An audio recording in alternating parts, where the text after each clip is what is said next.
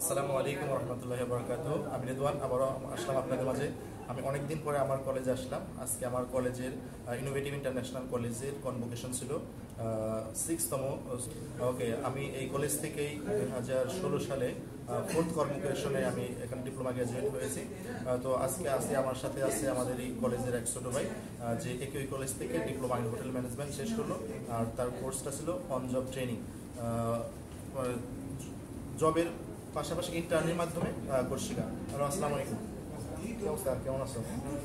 ওকে এর পরিচয় দেওয়া নেই। স্যার মোহাম্মদ ইবনে তারিক আমি এখানে পড়াশোনা করেছি আর কি ডিপ্লোমা হোটেল ম্যানেজমেন্ট সেগমেন্টে এবং এটা হচ্ছে অনজব ট্রেনিং প্রোগ্রাম সো এখানে কি আপনারা পড়াশোনার পাশাপাশি এখানে কাজ করতে পারবেন এবং আপনার ফিনান্সিয়াল কন্ডিশন এখানে মেনটেন করে এখানে আপনার পড়াশোনা করার দিতে পারবেন আচ্ছা তুমি তো এটা অন জব ট্রেনিং ছিলা।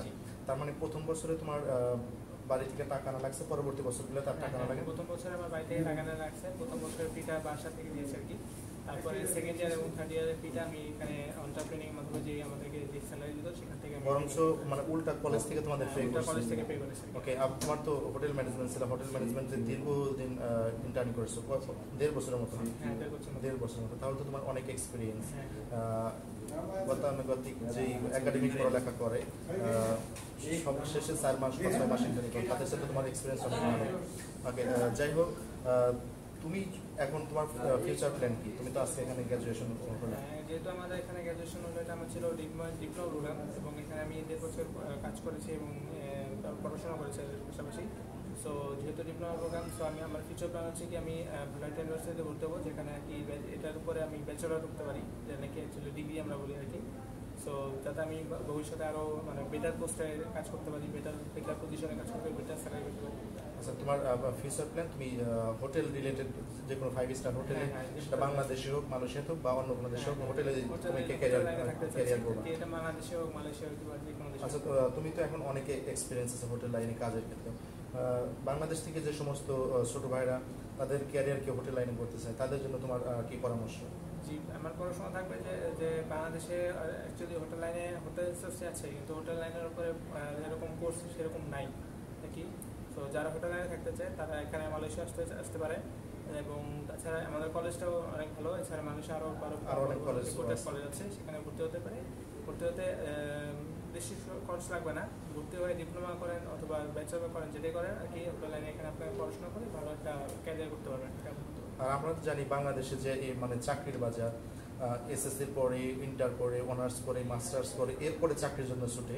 দেখা গেছে যে তার বয়স তিরিশের কাছাকাছি চলে যায় বা এরপরও চাকরি খোঁজাটা কিন্তু মানে চাকরি পাওয়াটা খুব কঠিন হয়ে গেছে এখানে। কিন্তু হোটেল ম্যানেজমেন্টে এসএসসির পরে যদি কেউ এখানে আড়াই বছরের ডিপ্লোমা করে, এরপরেই তো তার চাকরির বাজার কোনো সমস্যা নেই।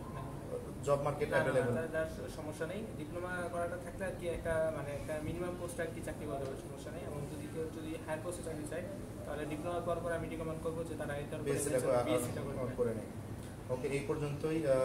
তারপরে তোমার বাংলাদেশ থেকে যারা আসতে চায় তো যাদের ইন্টার কমপ্লিট আছে তাদের তো ডিপ্লোমা আসা দরকার নেই। তারা ডিরেক্টলি ব্যাচেলরে আসতে পারে। ব্যাচেলরে আসতে পারে।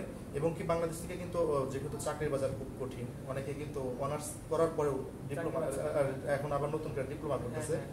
তাদের জন্য তোমার কি পরামর্শ? যারা অলরেডি অনার্স করছে বা কি করছে কিন্তু চাকরি পাইতেছে না। কিন্তু এখন একটা প্রফেশনাল ডিগ্রি দরকার। প্রফেশনাল ডিগ্রির জন্য আমি বলতে পারব যে তাদের ক্ষেত্রে ডিপ্লোমা যদি করতে চান এটাও আপনার ইচ্ছা। তবে আমি রিকমেন্ড করব ডিপ্লোমাটা না করে আপনি ব্যাচের বিএসসি আবার আরেকটা বিএসসি করার একটা বিএসসি করেন। কারণ বিএসসি আপনার যদি একাধিক থেকে সমস্যা হবে না। আর আপনি যদি হোটেলে আসতে চান তাহলে আপনার বেটার হবে আপনি বিএসসিটা করে ফেলেন। ডিপ্লোমা তো এটা একটা বিগিনিং এবং বিএসসিটা হচ্ছে আপনার আসল আসল যে পড়াশোনাটা সেটা। ওকে ধন্যবাদ তোমার পরামর্শের জন্য এবং আমরা দোয়া করি তোমার ফিউচার যাতে আরও আল্লাহ ভালো রাখেন এবং ভালো একটা পজিশনে তুমি জব করতে পারো দেশের জন্য নিজের জন্য ফ্যামিলির জন্য সবার জন্য সার্ভ করতে পারো। Okay thank you very much দেখা হবে।